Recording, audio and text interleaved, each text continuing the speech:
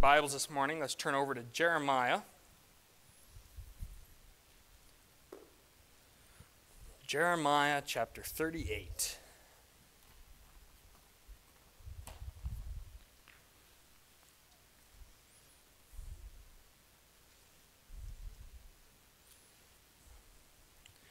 Jeremiah chapter 38. We want to look or start out by looking at verse 1 down through verse 14 this morning. And so, Scott, could you start and read two verses and work our way back? And then after Josie and Shalom, we can pop back up here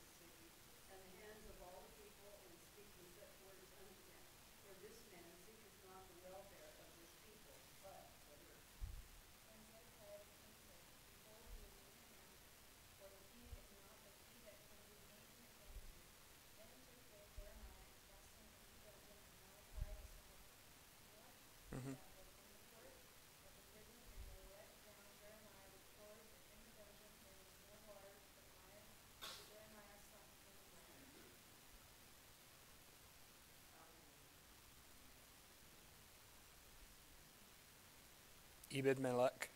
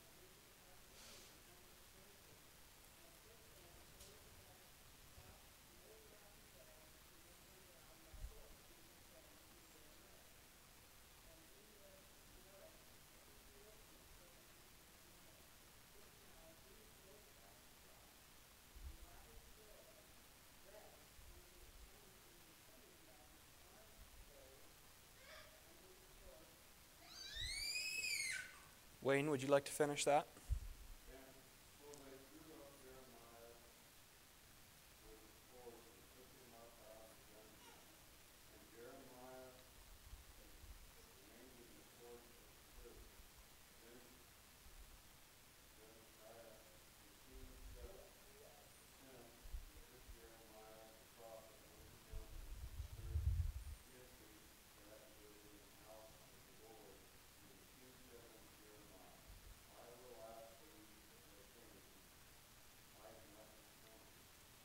Let's open in prayer.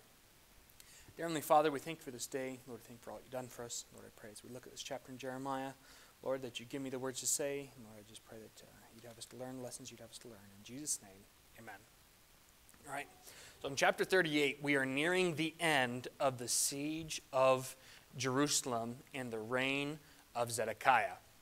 As the time is drawing close, Jeremiah stayed true to the message that the Lord had given him concerning the fate of Jerusalem, even in his current situation. Does anybody remember what happened last week, last chapter? What, what situation is Jeremiah in? He was in the prison. Okay? What was the events that took him there?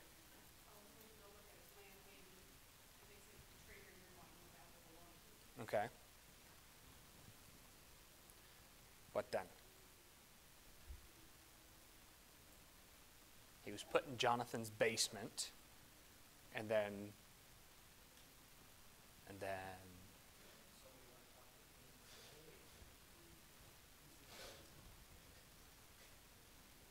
no, that was this time.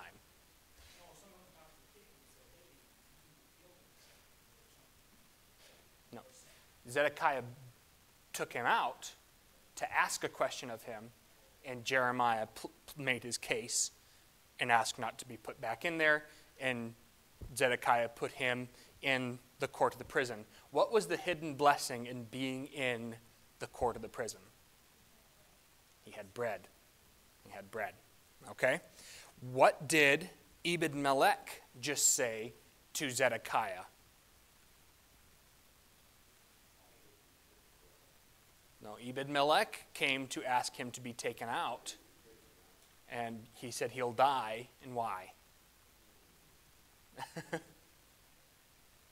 he said he's going to die in there because there's no more bread in the city. So we know the time that's passed between last chapter and this chapter, and that time is that there's no more bread. Okay? So that there's been a time here. So these are not the same events, even though um, there's some people that say it's the same. And we read at the end of the chapter that they mentioned Jonathan's house again. And so there's just some people that say, well, maybe this is the same thing, just reiterated, but we know now, or we see that Ebed Melech says, there's no more bread in the city. And Zedekiah said, put Jeremiah in the prison and give him bread daily. And so we know, so however much time that's been that the bread was, that there was bread and that there was no bre- more bread, that's what's happened. Okay? So we see that um, Jeremiah was, was put in Jonathan's house. He was taken out. He was in the court and prison. He was given a daily ration of bread. But now we see the princes conspiring against Jeremiah again. So, last chapter, it was the princes who put him in Jonathan's house so that he would die. They wanted to get rid of him. And again, we see another, they're conspiring against him again because Jeremiah is still preaching from the, court, from the prison court. Okay? We see that in verse 4. It says, Therefore the princes said unto the king, We beseech thee, let this man be put to death, for thus he weakeneth the hands of the men of war that remain in the city, and the hands of all the people, in speaking such words unto them. For this man seeketh not the welfare of this people, but the hurt. Now, what was Jeremiah preaching to the people? We said in verse 2 and 3. You need to go out to the Chaldeans, okay? And that was, that, that was their complaint. I asked the wrong question. Anyways, that was their complaint against Jeremiah, right? They were complaining that he was, well, I guess it wasn't. What were they complaining that Jeremiah was doing?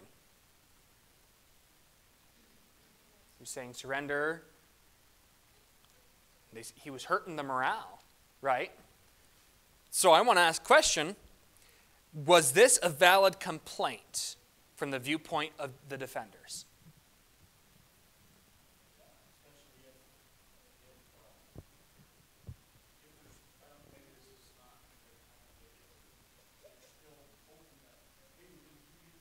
Mm-hmm. Right. Well, and this is this this would be the end of those two years, right? Um, but yeah, it's, it's a valid viewpoint from the, end, from the point of view of the defenders. Is this a valid complaint from those who are loyal and patriotic towards Judah?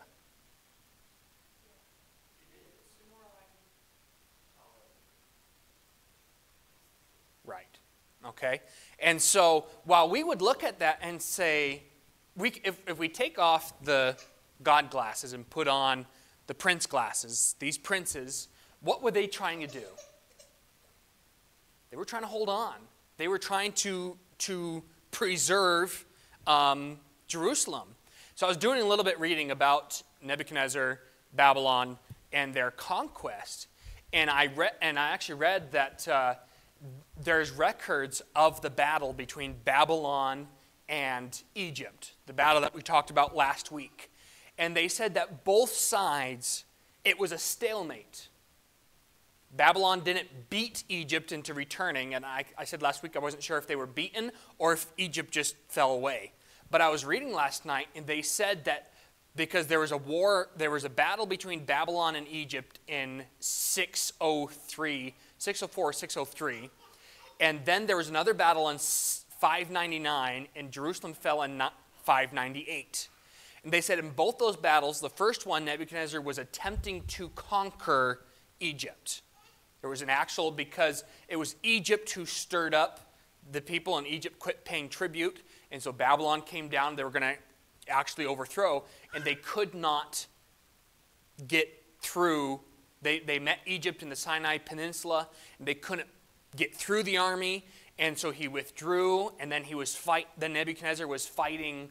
Um, he was fighting some some Arab um, tribesmen, some uh, uh, nomadic people, and then he had to return to Babylon because um, of an uprising. They, uh, history speculates that one of his brothers tried to tried to overthrow him, and they said there's, and they assumed that because there was there was um, there was unrest back in Babylon, and then there's no more records of Nebuchadnezzar's brother from 16 or from 602. There's no more about him. So they assumed that there was an uprising and he had to go back to Babylon, put his brother down, and then they said when he came back into, um, into well, Judah and laid siege on Judah, they said he was attempting to secure that whole area so that he could establish a strong point of which to completely overthrow Egypt. And they said that when Egypt came out, because Egypt had stirred up all them people, Moab and the Amorites and, and Judah and all them other people that were around there to fight against them, when they had stirred those people up, they asked, they came to Egypt and says, you need to come out and fight with us. So they said, history says that's why Egypt in uh, 599 came back out and Babylon came back down to the Sinai Peninsula to meet them and they said it was a very costly battle for both sides. They said Babylon had a terrible amount of um, casualties. And so that gives us an idea of last week when we said that God told them, even if the wounded men, even if all that remained are wounded men, they'll still overthrow Jerusalem. And so that there, there was, it was actually a very costly battle for Babylon to fight Egypt, and now they're still trying to conquer Jerusalem. And so, from the viewpoint of these princes who are trying to preserve Jerusalem, they think they have a fighting chance because they've seen the casualties of that 599 war, that battle against Egypt. They would have seen the amount of, of, of tents and campfires that are gone, that are missing. They would be able to look out at the host and say, there's a lot less people here. So, from a patriotic and a national standpoint, they had a valid concern or complaint against Jeremiah. But there's more going on than just, how do we say it? More than just, there's supernatural things going on. So, so there was, Jeremiah was telling them, and he had warned them that the defense won't make it, it will not last. God is going to overthrow. That if only wounded men, or that term means run through, dying men would still overthrow Jerusalem. And he's telling them, you need to surrender. Now, they accuse Jeremiah by saying that Jeremiah is, um, that Jeremiah is hurting the people. the end of verse 4, it says, For this man seeketh not the welfare of this people, but the hurt. Now, is this true? No, because what did Jeremiah say? He says, He that remaineth in, right, he said, He that remaineth in the city, whoever stays in here, is going to die. And then Jeremiah says, But he that goeth forth to the Chaldeans shall live. So Jeremiah, he was looking out for Jerusalem. He was looking out for his fellow man by telling them, if you defend, you're going to die. If you go out, you will live. But that's counterintuitive.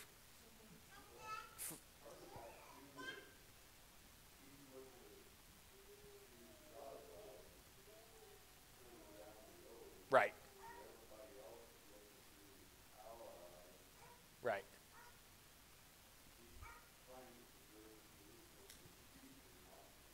Right.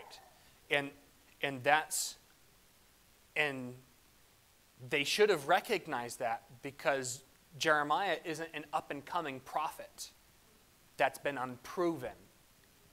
He's been proven over and over again because he's prophesied of the downfall of Jehoiakim and Jehoiakim. Jehoiakim, Jehoiachin. He's prophesied both the, down, the downfall of both them men, saying that they would fall, that Babylon would come and that they would fall, and that Egypt, that this would happen. And he's been proven true, while all the other prophets have said there's going to be peace, peace, peace. And there's not been a lick of peace in the 40 years of Jeremiah's ministry. And Jeremiah, and so Jeremiah is the proven prophet that they should have been listening to. And instead of looking at it from their point of view, they should have been looking at it from God's point of view. What Jeremiah doing was bad for patriotic morale, and it could even be seen as treasonous. They accused him of harboring the people rather than looking out for them. But Jeremiah had almost 40 years of ministry where he sought only to save Jerusalem and his people and had pleaded with God on their behalf. And so all it, took, all it would take is the recognition that Jeremiah is the prophet of God. Once they made that, once they admitted that, then they would have seen what Jeremiah was trying to do. That Jeremiah was trying to preserve the people by telling them, Go out to the Chaldeans. If you go out to them, if you surrender, they will preserve you. They will, they, you will be saved. You won't die.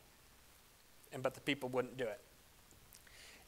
Now, that, that seems counterintuitive because what is the state between um, Judah and Babylon right now?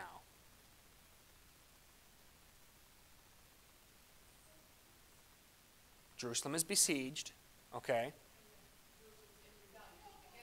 They're in rebellion. It's not just war. This isn't conquest anymore. Now, conquests, if you surrender, you're preserved. But this is rebellion. This is civil war. And Nebuchadnezzar has a, um, history says that Nebuchadnezzar has a scorched earth tactic with those who rise up against him.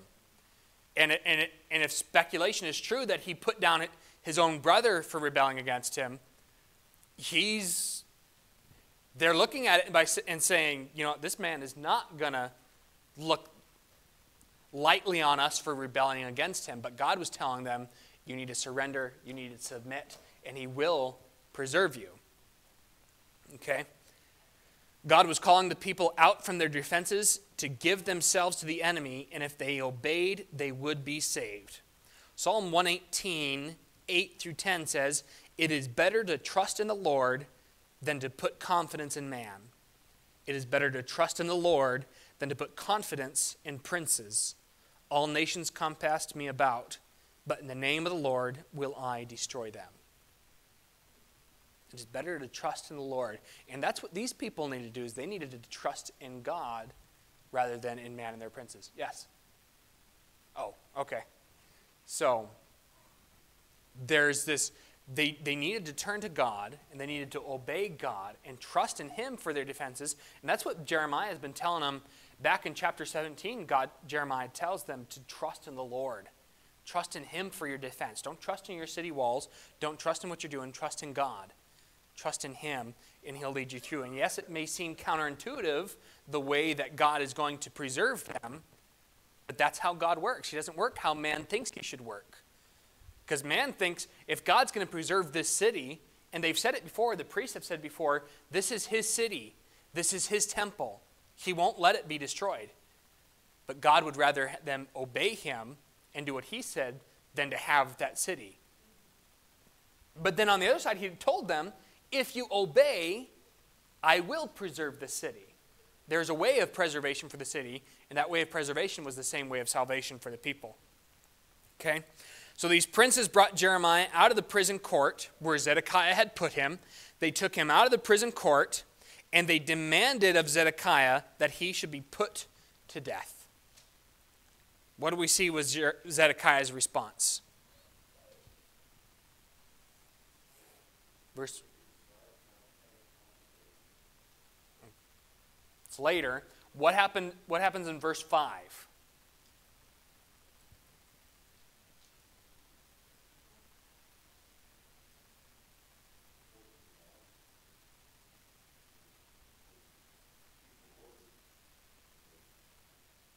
Verse 5. We get more. Now, what did Zedekiah say about himself?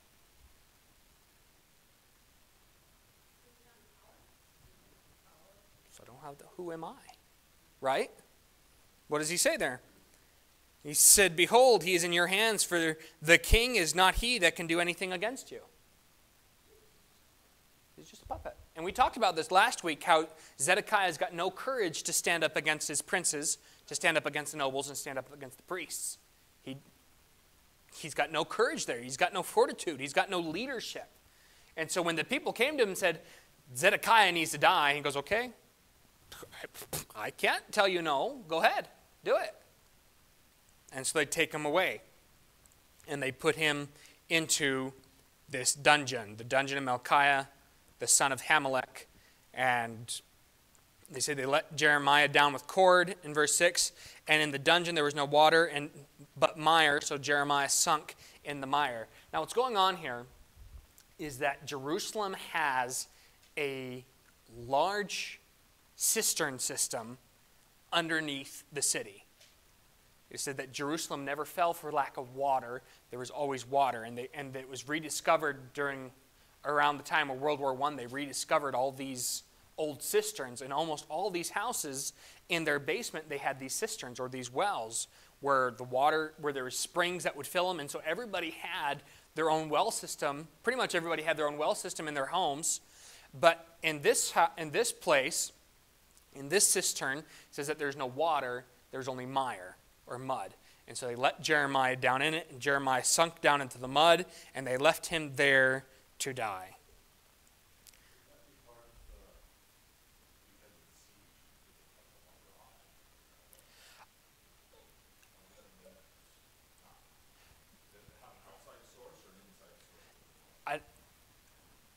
I know that they said that there's a few places where Jerusalem had its own springs and it was less water coming into the city. Um, but pr- late, earlier on, I forget what chapter we looked in, but they said that there was a drought, that the people were talking about a drought. So it could have been a drought, it could have been a lack of water.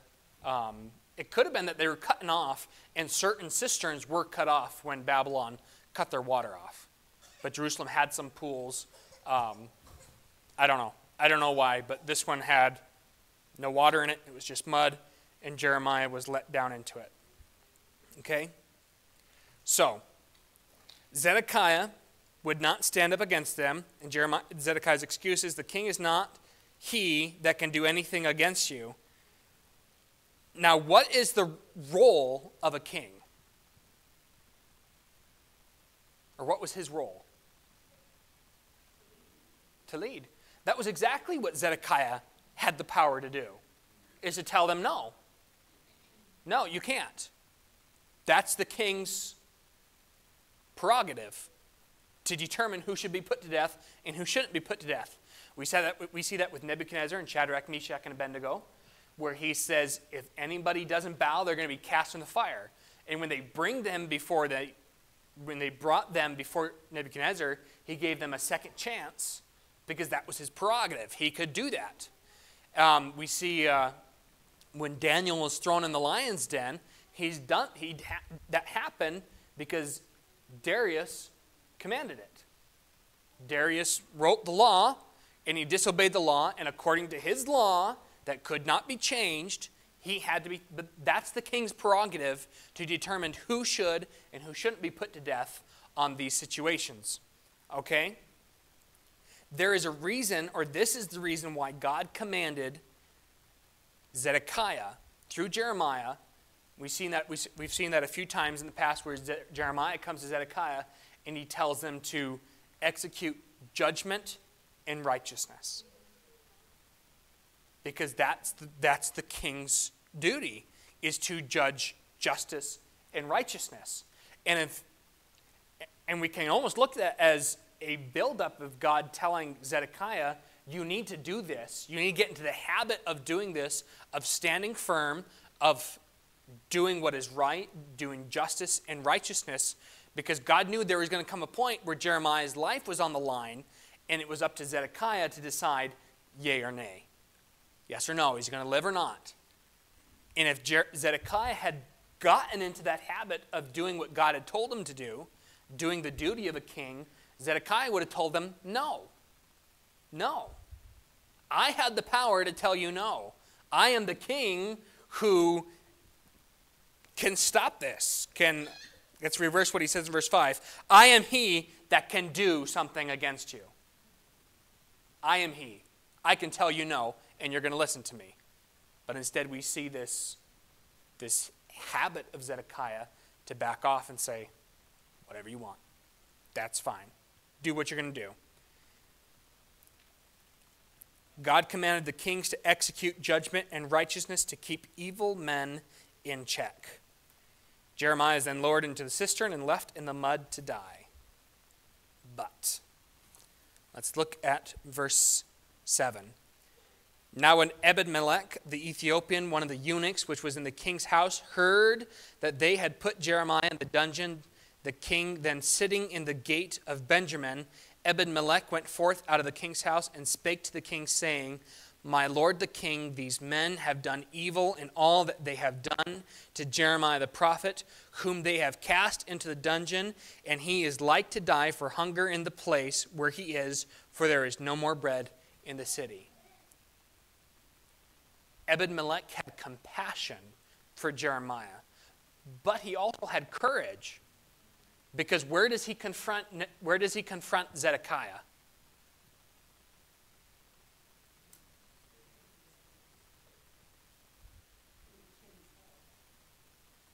And he says he goes, Zedekiah was in the gate of Benjamin, and Ebed-Melech left the king's house to go talk to him.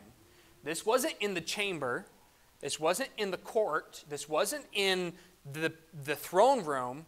This was in the gate, the city gate, in a public place.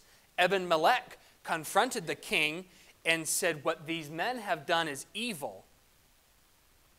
There was courage in Ebed-Melech to, in public, tell the king what the princes did was evil. They've done wrong. And so he confronts Zedekiah. And then what, what, do, you, what do we see Zedekiah do? Verse 10 Then the king commanded Ebed-Melech the Ethiopian, saying, Take from hence thirty men with thee, and take up Jeremiah the prophet out of the dungeon before he die. So when Zedekiah is confronted by a man with courage who knows what is right, Zedekiah gives in, um, stands up. I'm trying to think of a word. He goes along with what is right when there is a man of sufficient courage for Zedekiah to follow. Yeah, and he, he comes around. But Ebed Melech is what Zedekiah was supposed to be. But when Ebed Melech comes to him, Zedekiah says, Take from hence, from the guard, from the gate guard, 30 men. Take 30 men from the defenses, from the guard of the gate, from the walls, wherever, whatever, wherever these 30 men were. Says, Take from hence 30 men and get him out. Now, Ebed Melech doesn't say that Zedekiah did wrong, and he doesn't tell Zedekiah that you've got to go out and do that. He just tells Zedekiah he's going to die in there. And Zedekiah says, Okay, take 30 men and get him out. And so Ebed Melech goes and he rescues Jeremiah, and he goes and he takes Jeremiah out of the pit. And he's got these 30 men with them. And now I read one commentator that said Ebed Melech would not have needed 30 men to draw Jeremiah out of the cistern. He says it's probably a misprint. He probably would have only needed three men. And yes, to pull him out of the mud, three other men probably would have been enough. But is that why Zedekiah sent 30 men? No, it's because he's going against the will of his princes.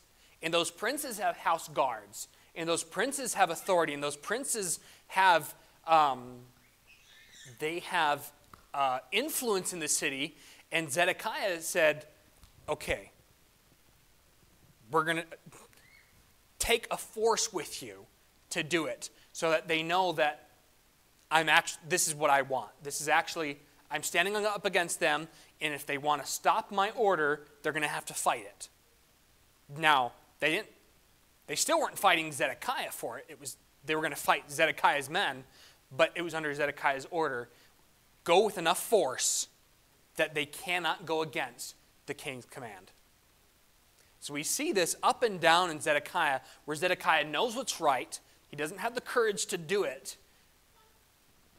But like last chapter, we saw in secret, he took him out and put him in the court when he didn't have to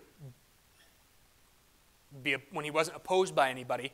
But now, when he's confronted in public about it, and there's people there, this is where, this is where everybody sits and congregates, is in the city gates.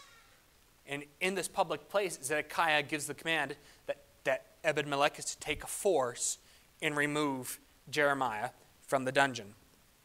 Okay. Then we see that Ebed Melech went and he took the men, and he took him thence, in verse 11, and took thence old cast clouts and old rotten lags, rags, and let them down by cord into the dungeon to Jeremiah. So this is further compassion in Ebed Melech, in that Jeremiah is sunk in the mud, and in order to remove him, they're going to have to pull really hard. Dad had a goat stuck in the mud earlier on, and he called Dalton and I, and we went over there, and you couldn't hardly pull a goat out. A goat in the mud. Jeremiah is sunk in the mud, and it's going to take an effort to get him out. And Ebed Melech takes these old rags to cushion the rope that was going to pull Jeremiah out. So there was thought and there was compassion in Ebed Melech's and what Ebed Melech was doing. Number one, because Jeremiah was getting up, he was getting older. He's at least 60. And this was gonna this was gonna put a strain on him. And there was compassion there. That just shows that there's just extra compassion that Ebed Melech showed the prophet of God. And he was fulfilling his duty, but he was doing it in a way, he was showing kindness um, above that of just rescuing him. Okay? He took him out. They drew Jeremiah out in cords, took him out of the dungeon, and Jeremiah remained in the court of the prison. Verse 14 Then Zedekiah the king sent and took Jeremiah the prophet unto him into the third entry that is in the house of the Lord. And the king said unto Jeremiah, I will ask thee a thing, hide nothing of me. What he's saying is, I'm going to ask counsel of you don't hide the bad news from me. Tell me, tell me the truth. What's going to happen? So he asks, he asks counsel of Jeremiah, and Jeremiah gives him this response. Verse 15 Then Jeremiah said to Zedekiah, If I, de- or well, first he says, If I declare unto thee, wilt thou not surely put me to death? And if I give thee counsel, wilt thou not hearken unto me? So he's saying, If I tell you and you don't like it, you're just going to put me to death. And then he says, And if I tell you, you're not going to listen to me anyways. But verse 16 So Zedekiah the king sware secretly unto Jeremiah, saying, As the Lord liveth, that made us this soul, I will not put thee to death, neither will I give thee into the hand of these men that seek thy life. So he promised that he wouldn't kill him, but he didn't promise to listen to him. So Jeremiah tells him, Thus said, Then said Jeremiah unto Zedekiah, Thus saith the Lord, the God of hosts, the God of Israel, If thou wilt assuredly go forth unto the king of Babylon's princes, then thy soul shall live, and this city shall not be burned with fire, and thou shalt live, and thine house. But if thou wilt go forth, but if thou wilt not go forth to the king of Babylon's princes, then shall this city be given into the hand of the Chaldeans, and they shall burn it with fire, and thou shalt not escape out of their hand. So he's given them two options here surrender, and the city won't burn, you will be preserved, and your house will be saved. He said, Don't surrender, you will be captured, the city will burn, and your house will fall. But then we see Zedekiah's response. And Zedekiah the king said unto Jeremiah, I am afraid of the Jews that are fallen to the Chaldeans, lest they deliver me into their hands and they mock me. So, what was, what was Zedekiah's fear? To be made fun of, to be mocked. But there's a problem with what Zedekiah is saying. What did Jeremiah tell Zedekiah to do? Who was he to go surrender to? To the princes. Zedekiah says, I am afraid of the Jews that are fallen away, those Jews that have already gone over to the Chaldeans, lest they reveal me, deliver me into their hands. Verse 20, but Jeremiah said, They shall not deliver thee. Obey, I beseech thee, the voice of the Lord which I spake unto thee, so it will, shall be well unto thee, and thy soul shall live. But if thou refuse to go forth, this is the word the Lord hath showed me. Okay, I'll get to that in a second. Here's the, here's the thought that I had last night Jeremiah is telling the people to go to the Chaldeans, right? We see here that Zedekiah says, I'm afraid of these people that have gone over to the Chaldeans. What does that tell us then?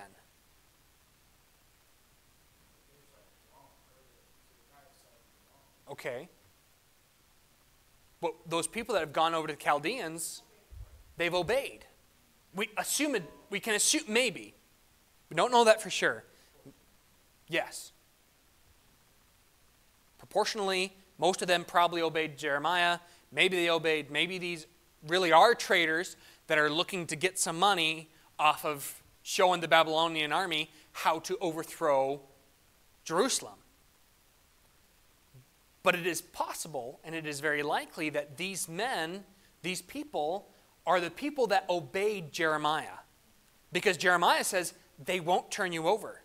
If these are people that have got tra- betrayed Judah and are looking for money, yeah, they're going to deliver the prince up. But Jeremiah said they won't. So we assume that these are people who obeyed. Okay? So, first, if those who were leaving the city were obeying Jeremiah and taking that road of salvation that God had offered them, they would rejoice to see their king walking the same path. This is the path, there's two paths given to Zedekiah the path of, path of salvation and the path of destruction. And Jeremiah is telling them they won't give you up.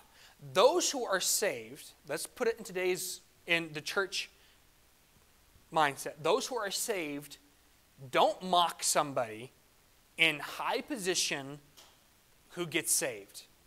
There is rejoicing for that. Jeremiah says they won't. They'll rejoice over it because the king is preserving the whole city. Okay, so that's the first, first thing I noticed last night.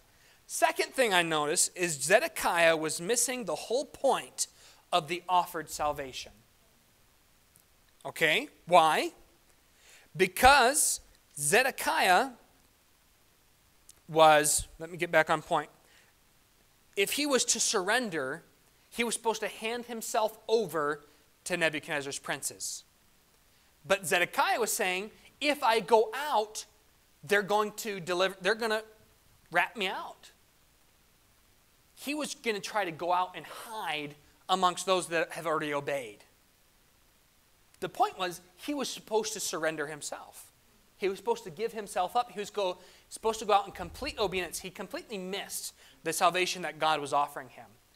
He was to take responsibility for his rebellion, to take responsibility to, to, to assume the consequences of what was going to happen to him. He was to go out and, in full obedience, say, Here I am. I've rebelled against the king. I'm giving myself up. And a lot of times there's people that miss the point of salvation. They completely miss it. They com- it goes right over their head what it is they're supposed to do. And what they're supposed to do is complete surrender. Completely give it. People that go, well, do, do I got to do this if I get saved? Do I, do I got to do this? Well, pe- well, people, and it's like, the point is, is you're getting right with God. That's the point. Not you're getting out of something, not, no, you're getting right with God, and, and you're giving everything up and giving yourself to God. And that's what Jeremiah was telling Zedekiah to do, but Zedekiah wouldn't do it. He was afraid. And worldly speaking, rightly so, Nebuchadnezzar was not a teddy bear of a man. He, he wasn't going to be good. Well, it was. But the, the examples that Zedekiah has were not pretty. But God was telling him, trust me, he's my, Nebuchadnezzar is my vassal, he's my tool. I'm using him. This is not him, his doing, it's my doing. And if I say he will preserve you, he will preserve you. He just had to obey. Jeremiah then pleads with the king and warns him of what would happen to him and his house if he would not hear and obey the counsel of the Lord. But Zedekiah still refuses to listen. And so Jeremiah tells him what would happen.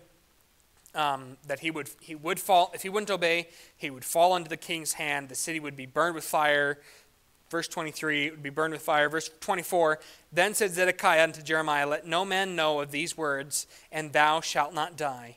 But if the princes hear that I have talked with thee, and they come unto thee, and say unto thee, Declare unto us now what thou hast said unto the king, hide it not from us, and we will not put thee to death. Also what the king said unto thee. So Zedekiah knew that the princes would find out about this meeting, and they would want to know what, the, what he's talking to Jeremiah about. And so he tells them in verse 26 Then thou shalt say unto them, I presented my supplication before the king that he would not cause me to return to Jonathan's house to die there.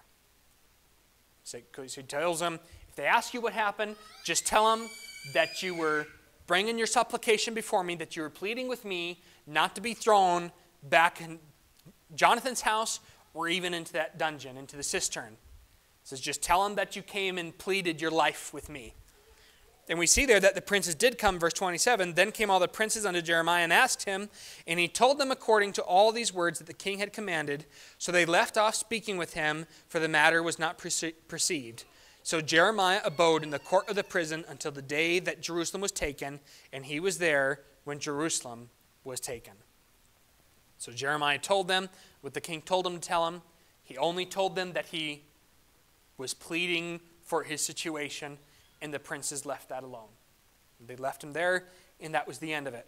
And Jeremiah was left in the king's court. So notice that after Zedekiah used force to remove Jeremiah from their grasp, the princes left him alone in the court of the prison. As soon as Zedekiah used force to stand up for Jeremiah, the princes left him alone. If he had done that in the first place, Jeremiah wouldn't have had to put up with anything the princes did because the princes would have realized that Zedekiah was using force, was actually on Jeremiah's side. So, all right, any thoughts or questions before we close?